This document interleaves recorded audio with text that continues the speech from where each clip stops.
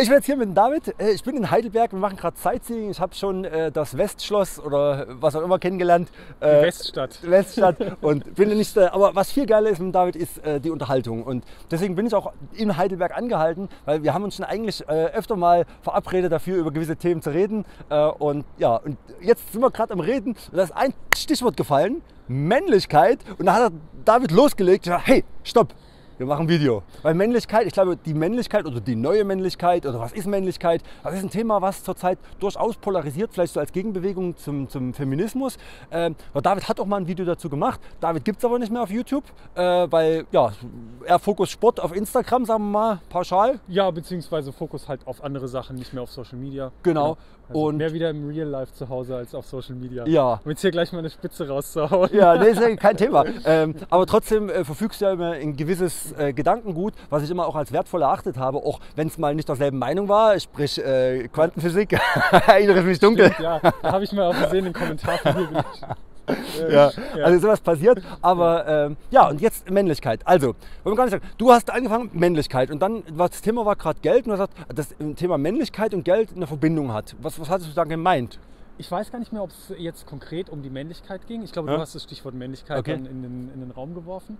Ähm, aber es ging um das Thema Sexualität und Frauen. Ah, stimmt, Sexualität, Ähm, ja. ja. Und was ich in dem Gespräch sagen wollte, ist, dass ich der Meinung bin, dass ähm, dieses, ah, wie soll ich das sagen, also es, es geht nicht direkt um Geld. Also ich glaube schon, Mhm. dass äh, für einen Mann, das ist jetzt vielleicht eine kontroverse Ansicht, Mhm. aber für einen Mann Ressourcen zu haben, Mhm.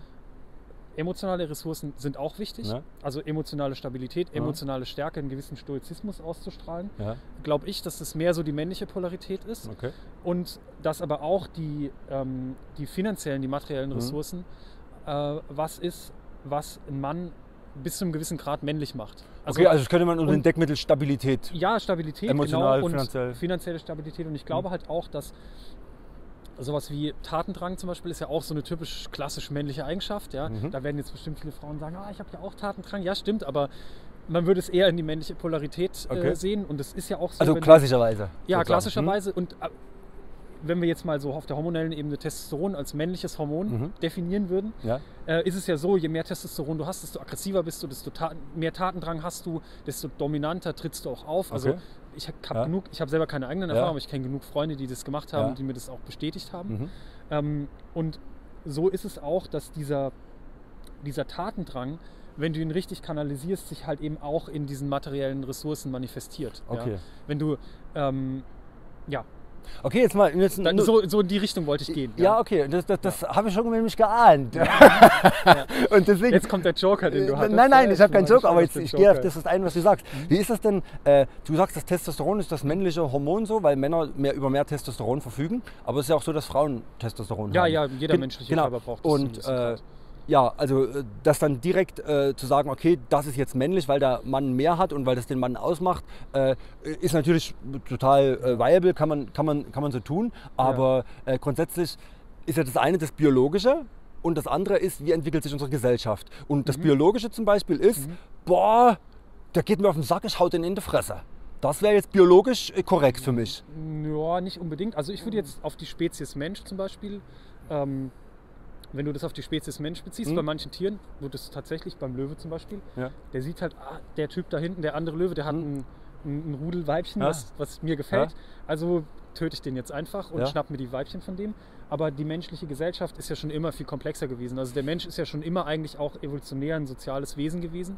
Deswegen kannst du als Mensch so nicht agieren. Also konntest du Also bist du der nie, Meinung, worauf ich eigentlich hinaus will, bist du der Ja. Mhm. Meinung, also, oder, oder das ist deine Erfahrung, dass du immer analog äh, deinen Gefühlen handeln kannst in diesem Land und dass du nicht das Gefühl hast, dass manchmal evolutionär in dir was ist, Ja. so ein Trieb, äh, da bin ich, dachte ich eigentlich, dass du Ja. zustimmst, also das Unmännliche dann, so, dass du dann halt irgendwie so eine in besonderer Art und Weise aggressiv bist, was du dann nicht auslebst, wegen der kulturellen Prägung. Also ich würde der, bin der Meinung, dass man generell nicht immer nach all seinen Gefühlen handeln sollte. Also ich weiß, Gefühle sind handlungstreibend. Woher kommt diese Erkenntnis? Äh, die Erkenntnis, das ist einfach meine Lebenserfahrung. Wenn ich einfach meinen Impulsen und Gefühlen folge, dann. äh, Und woher Leben ja kommt deine furchtbar. Lebenserfahrung?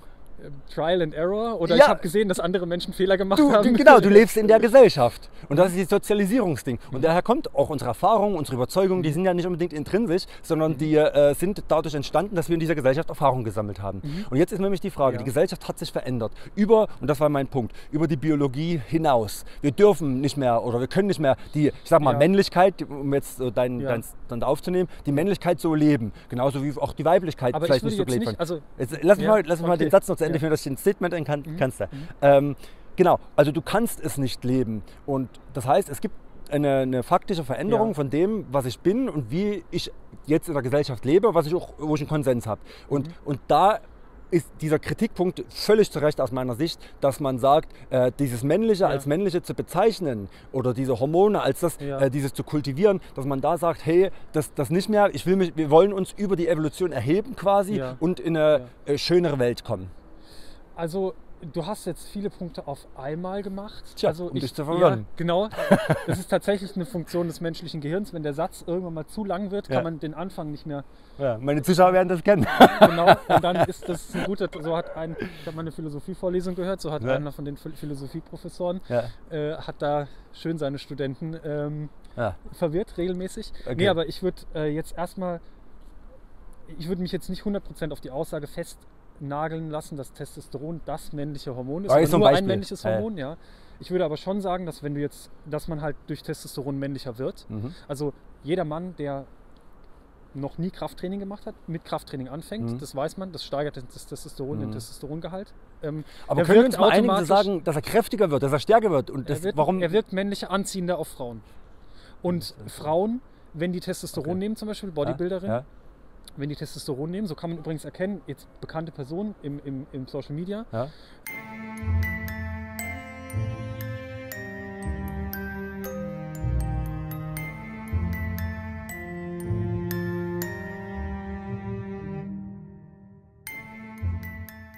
äh, wenn plötzlich ihr Kiefer breiter wird, ihre Stimme tiefer wird, ihre Schultern breiter werden, Ja. da wo die Androgenrezeptoren sind, mehr Muskulatur entsteht, Okay. kannst du eigentlich zielsicher sein, Das sagen. Die Frau nimmt Testosteron. Da gibt es einige Beispiele. Okay. Ich nenne keine Namen, weil wir wollen ja, dass das Video veröffentlicht werden kann. Aber wenn ihr diese Sachen bei jemandem sieht, seht, Ja. dann wisst ihr schon, ah, bei der Frau ist Okay. vielleicht was, äh, geht, es Mhm. geht vielleicht was äh, los. Ja? Mhm. Also du siehst schon, wenn Frauen mehr Testosteron haben, wer- werden die männlicher. Dann Okay. wirken die männlicher, Mhm. dann sind die in ihrem Auftreten äh, männlicher und wirken auch körperlich männlicher. Aber die wirken auch sexier auf viele Menschen. Ähm, Und also, da- das widerspricht ja dem Argument, dass äh, nur Mhm. die Männlichkeit die Stabilität ausdrückt und die ganze. also ich würde sagen, ähm, also ich würde, würde, würde sagen, dass eine Frau, die Sport macht, schon Mhm. sexier wirken kann. Hm? Aber wenn es dann in die Richtung geht, dass jemand exogene Hormone nimmt, exogenes Mhm. Testosteron, ist es im Mittel eher nicht mehr so. Also dann wirkt die im Mhm. Mittel eher nicht mehr so. Ähm, Aber ich glaube, das trifft auch auf Männer zu, weil Männer, die über den normalen Männlichkeit hinaus äh, ihr Bodybuild, äh, Quatsch hier. ja, äh, irgendwann ist halt zu viel Männlichkeit. genau, ja, und das- du brauchst ja eine Balance. Ne? Ja, jeder Mensch braucht Ja, eine das ist, Balance eigentlich, zwischen das ist mein Punkt. Energie also das ist, Energie. dadurch Klar, ist ja das Argument ja nicht mehr existent. Wenn du sagst, äh, wenn man äh, kräftiger ist, wenn man mehr Stabilität ausstrahlt, dann wird man sexier und Mhm. beziehst es auf Männlichkeit und sagst, das gilt für die Frauen genauso. Also ich finde, eine Frau wird auch vielleicht sexier oder, ja doch klar, umso mehr Sicherheit, Stärke sie ausstrahlt, umso Also, durchtrainierter sie ist, auch im normalen Rahmen. Generell würde ich da auch keine. Also ich denke, Stärke ist sexy, ja, aber, aber nicht männlich. Gene, generell würde ich da auch keine absoluten Aussagen Mhm. machen, aber ich würde die Aussagen, also es gibt ja zum Beispiel Frauen, es gibt ja zum Beispiel Männer, die stehen auf dominante Frauen. Ja. Das ist einfach so, gibt's, ja. Ähm, und das wäre dann halt zum Beispiel, wo es nicht passt mit Männlichkeit und Weiblichkeit. Ja, So okay. ein bisschen. Okay, aber du- im Mittel ist es ja, im Mittel ist es halt anders. Im Mittel ist es eher so, dass die Frau drauf steht, zum Mann aufzuschauen. Und das stelle ich in Frage. Ich, ich, also meine Erfahrung ist eine andere, ja. Okay. Aber okay, ja. Jeder zieht ja auch so ein gewisses Aber ich würde, das halt an. im, ich würde das halt im, im statistischen Mittel, auf, als im statistischen Mittel sehen. Ja, ja, ich auch, Ja. aber halt anders. Ja, du, du sagst, was sagst du dann? Was ist dein, Also was mein, deine- meine These ist, äh, Mhm. dass unabhängig vom. Geschlecht Mhm. ein äh, Mensch attraktiver wirkt Mhm. und dass auch zwischen Frauen und Männern kein Mhm. äh, un großer signifikanter Unterschied besteht. Mhm. Ähm, wenn jemand stärker ist, wenn jemand stabiler ist, dass er mehr sexier wird. Also Sexualität ist erhöht, umso stabiler und stärker der wirkt.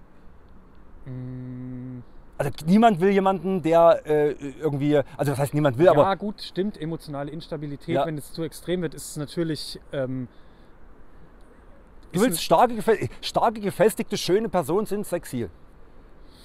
Ja, ja und also schon, ja, ich würde dir schon zustimmen, aber ähm, ich glaube schon, dass bestimmte Eigenschaften bei Männern halt mehr ausgeprägt Das sind ohne und bei Frage. Frauen halt etwas Das- weniger das- das ohne ausgeprägt Frage, sind. aber- und dass es ja. vielleicht aber auch gut ist, dass sich das gegenseitig ergänzt. Also ich, ja, Also ohne Frage, ein Mann sieht anders aus, ein Mann ist ein Mann, eine Frau ist eine Frau und es gibt Unterschiede biologischer Natur. Meine Frage und äh, warum das Thema auch so oft triggert und auch mich triggert, Ja. äh, ist, dass äh, in der Gesellschaft, in der wir leben, Mhm. ich finde diese, diese Beharrung auf, äh, das ist urmännlich, das ist urweiblich Ja. und damit äh, zum Beispiel auch Chancen dem anderen Geschlecht nicht zu geben und damit meine ich auch beidseitig. Es gibt auch Ja. Männer, die gerne als Hebamme arbeiten wollen. Also für mich ist Ja, das wirklich jetzt kein rein feministisches Thema, sondern Mhm. wirklich ein ausgleichendes Thema. Ähm, das, das, da finde ich in der Gesellschaft sollten wir einen. Schritt weitergehen und da vorsichtig sein mit solchen Sachen, weil das halt immer wieder diese unsere Prägung immer wieder so wiederholt und wiederholt und ja. also, ich Also ich, hm? ich glaube, dass wenn man eine, also ich finde eh, ich meine, unsere Gesellschaft ist ja letztlich schon so strukturiert, dass jeder machen kann, was er will, im Prinzip. Ja? Also jede Frau kann auch Pilotin und Astronautin werden. aber nicht jeder Mann kann Hebamme werden. Ja, das stimmt. Und Ist an so. der Stelle glaube ich aber, dass ähm, bei gewissen Vorurteilen schon ein ganz kleiner Kern Wahrheit dran ist. Ja? Also ich würde mich zum Beispiel irgendwie schon. Ja, egal, ist vielleicht zu vorurteilsbehaftet. Da Ich kommt denk- gerade ich ein denk- Hund in die Kamera. Ja, ist egal. Äh, Ähm, aber ich kann mir auch vorstellen. aber ich denge, dass der ich Mann wird mir, ja ich nicht Hebamme werden. Ich kann, mir aber, ich kann mir aber zum Beispiel vorstellen, dass die, ich, ich formuliere es mal Hm. neutraler, dass die meisten Frauen sich wohler fühlen, wenn der Heb, die Hebamme eine, eine Frau ist. Gut, das kann man ja auswählen. Hebamme hast ja freie Wahl der Ja. Hebamme. Also Und ich da- glaube, dass sich dann von daher von alleine rausbilden wird, dass die meisten Frauen ne- die Heb, eine weibliche Hebamme wählen Hm. Und dass die, die meisten Männer halt daran scheitern würden, dass sie einfach nicht von einer Frau dafür bezahlt werden, die Hebamme zu sein. Und das, wenn man das mal umdreht, Auch wäre über den Mechanismus, glaube ich, Hm. würde das, das relativ schnell regeln. Guck mal, da kommt ein Und- äh, Pudel. Oder Pudel. was ist das für einer? Gell? Was bist du für einer? bist du männlich oder weiblich? Oh, der rennt ja weg. Du brauchst keine Angst haben vor mir. Ja. äh, jetzt, aber wenn wir das jetzt umdrehen, du sagst, okay, das, der Markt würde das regeln, äh, ja, macht er ja gerade nicht, auch in Bezug auf jetzt Frauen, äh, die in bestimmten Bereichen aufgrund unserer Geschichte eben nicht in die Bereiche reinkommen, äh, Ja. wo sie gern wollen In würden. welchen Bereichen können denn keine Frauen arbeiten in Deutschland? Äh, können potenziell immer, Ja. aber zum Beispiel, wenn du jetzt siehst, äh, in Führungspositionen sind halt noch weniger Ja. Frauen und äh, ich weiß nicht, ob das an einem ja. wenigen Skill liegt oder an, das, an dem Naja, Gefüge, was Also existiert. ich habe gut, ich habe über die Strukturen schwierig. Da müsste man jetzt äh, sich in die ähm, überhaupt mal. Hm. Also da wird es ja irgendwelche Untersuchungen dazu geben, was die Gründe sind. Äh, aber ich meine, wir hatten jetzt 16 Jahre lang eine Bundeskanzlerin. Das ist quasi so das höchste Amt, was man in Deutschland überhaupt haben kann. Eigentlich ist der Bundespräsident das höchste Amt, rein faktisch. Ja, also rein, War nur Klugscheißerei. rein Sorry. von der, von der Machtstruktur stimmt Ja. es schon, aber der Bundespräsident hat ja quasi keine Macht in Deutschland. Das Ja. ist ja nicht so wie der Reichspräsident der ja. Weimarer Republik. Aber rein auf dem, auf dem Dings ist das aber, das aber Staatsoberhaupt. faktisch, faktisch Ja. hat der Bundeskanzler, gibt der Bundeskanzler die Richtlinie der, der Tagespolitik vor. Hm. Und dieses höchste Amt, Hm. das faktisch höchste Mhm. Amt, was wir haben, das hatte jetzt 16 Jahre lang eine Frau inne. Also würde ich sagen, kann eine Frau alles machen. Aber es könnte auch nur instrumentalisiert von Männern dann sein, ich- dass ich okay, glaube jetzt haben wir aber, mal eine dass- Frau gehabt. Ich glaube aber, dass, ähm, das ist natürlich jetzt nur eine, eine Hypothese, aber ich glaube, dass aufgrund beispielsweise der hormonellen Unterschiede zwischen Mhm. Mann und Frau äh, Männer im Mittel immer dominanter sind, Okay. etwas aggressiver sind, Ja. mehr Tatendrang haben, dann dementsprechend mehr arbeiten und Ja. so weiter und deswegen im Mittel das immer so sein wird, wenn wir Ja. keine Frauenquoten einführen Ja. und selbst wenn wir jetzt keinen Sexismus in der. Gesellschaft hätten oder irgendwas, selbst dann würde es immer noch meiner Behauptung nach so sein, dass wesentlich mehr Männer in Führungspositionen auftauchen würden als Frauen. Okay. Ähm, und ich würde da auch gar nicht regulierend eingreifen. Hm. Und ich bin auch der Meinung, dass in der Regel eine Frau, wenn sie gut genug ist und das Gleiche macht wie die Männer, Hm. auch dahin kommen kann, wo die Männer hinkommen können. Also Mhm. ich würd, würde Okay. nicht sagen, dass äh, unsere Gesellschaft im Mittel so ist, dass Frauen Hm. äh, da irgendwie extrem benachteiligt sind. in Okay, ich verstehe vollkommen Richtung. deine Also Sichtweise. Ich verstehe das vollkommen. Ja. Aber und, wie gesagt, ähm, das sind ja auch, das sind ja auch Fragen, Ja. äh, die, die, die sind ja auch, also da, da müsste man jetzt irgendwie versuchen, eine empirische Antwort zu finden. Ne? Ja, nee, also, aber ich, ich, find, ich, jetzt finde das, kenne. wie gesagt, ich kann die Sichtweise total nachvollziehen. Ich will einfach nur meine Sichtweise mal da einfach nur parallel dazu stellen, weil das jetzt gar nicht gegen deine Sichtweise ist. Ähm, ich gebe dir vollkommen recht. Männer Mhm. Ja. sind vom Grunde auf leistungsorientierter, Männer sind dominanter, äh, vom Grunde auf äh, können sich auch mehr in die Arbeit reinsteigen und machen es vom Grund auf, gebe ich dir vollkommen Im recht. Mittel. Im Mittel, genau. Im Mittel. Natürlich. Weil du wirst immer, Ja. du kannst irgendeinen Ja, ja, Typen finden. vollkommen klar. Du findest irgendwo auf der Welt eine Frau, die mehr macht und besser wir- ist als der. nicht reden. Also in vielen Fällen. Wir- wir reden Beim ja so- Sport jetzt nicht, ja. Ja. beim Sport ist es immer so, das ist ein Hochleistungssportler der Beste der Welt, da gibt es keine Frau, die da hat man ja dann quasi Mann. das- Ja. Das bitte. Okay, aber um das nochmal zu Ende zu führen. Ähm, und dann wird äh, an den Führungspositionen werden die leistungsstärksten Menschen stehen, sage ich einfach mal. Und jetzt ist äh, meine These, Schön die daneben steht, Mhm. äh, ist das so sinnvoll, dass der leistungsorientierteste oben steht?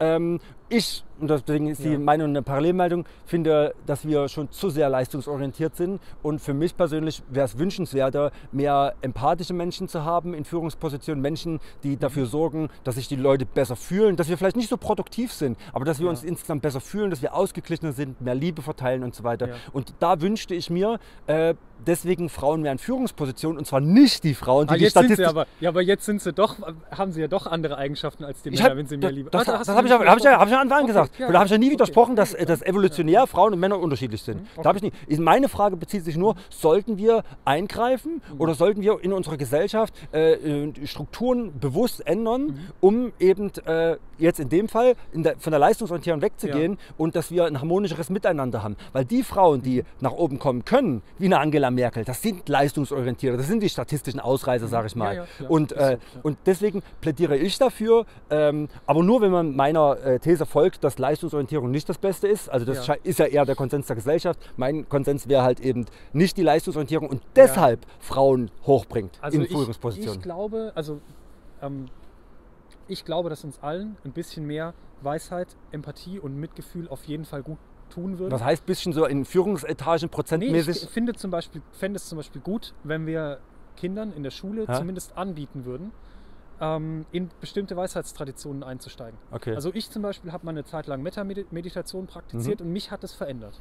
Mhm. Mich hat es verändert in der Art und Weise, wie ich die Welt und andere Menschen wahrgenommen habe. ja. Ähm, und mir hat es zum Beispiel auch die, äh, auch, auch die Zen-Praxis gi- gibt mir irgendwie, ähm, hat, hat mich dahingehend verändert, dass ich Okay. mir mehr darüber Gedanken mache, ist mein Gegenüber glücklich, wie geht es dem, was geht in dem vor. Okay. Und jetzt nicht um Schach mit dem zu spielen Mhm. und, zu, und zu über, übertrumpfen, sondern um wirklich zu verstehen, wie, wie fühlt der andere und wie kann ich mit dem anderen auf eine produktive Art und Weise interagieren. Mhm. Ich glaube, dass unsere Gesellschaft auf jeden Fall mehr davon braucht Okay.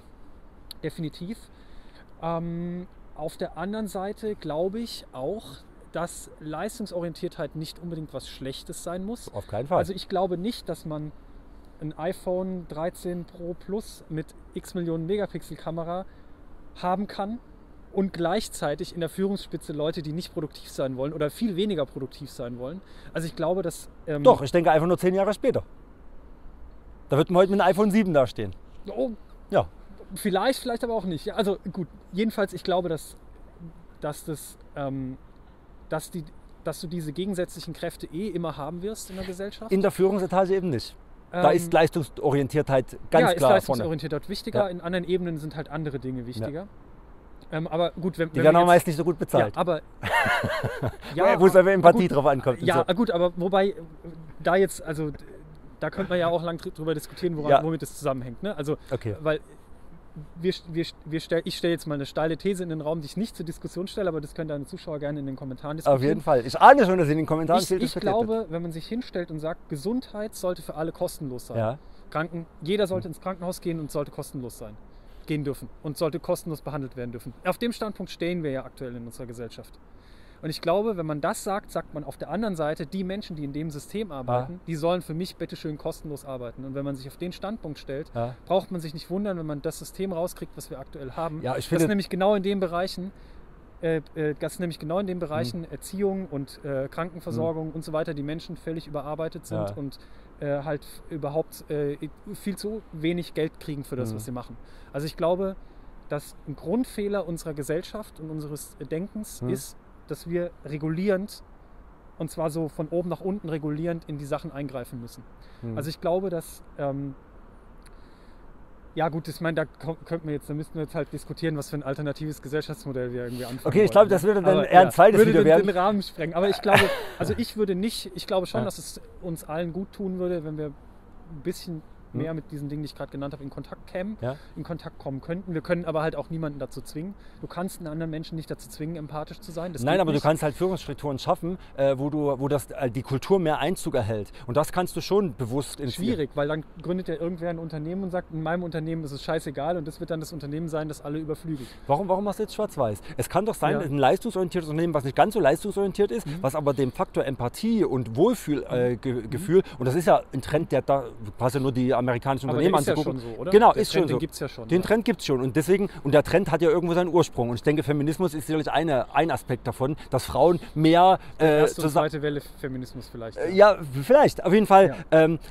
wie dem auch sei, aber ähm, ich sag mal, um mal ein Resümee zu machen. Wir beide sind der Meinung, das können wir glaube ich festhalten, äh, es ist wichtig, Leistungsorientiertheit ist in gewisser Form wichtig, aber auch Menschlichkeit und Empathie ist Ja, wichtig. absolut. Gut, da haben wir einen Konsens. Ähm, ich, und das ist die Das Wahrscheinlichkeit. muss ich aber auch nicht widersprechen eigentlich. Ja, aber ich sag mal, um ein Diskussionsthema für die Kommentare äh, Mhm. aufre- äh, zu- aufzu, aufzumachen, würde ich sagen, und deswegen würde ich äh, tatsächlich Frauenquoten einführen. Und zwar eben, äh, weil die leistungsorientierten Frauen sich zwar nach oben arbeiten können, aber die Frauen, die ich oben haben möchte, oder die Menschen, die ich oben haben möchte, das Ja. können ja auch Männer sein, aber da, dadurch ein biologischer Unterschied existiert, bla bla bla, sind es immer Frauen. Also Frauen nach oben, die sich eben nicht kämpfen, sondern die durch eine Quote hochgebracht werden. Ein klarer Daumen nach oben für mich. Wie siehst du das, David? Ja, ich bin gegen die Frauenquote. Okay. Absolut. Ich glaube auch, dass es die Frauen, die nach oben kommen, äh, durch die Frauenquote schwerer haben werden und dass die Frauen, dass es die Frauen abwertet. Ja.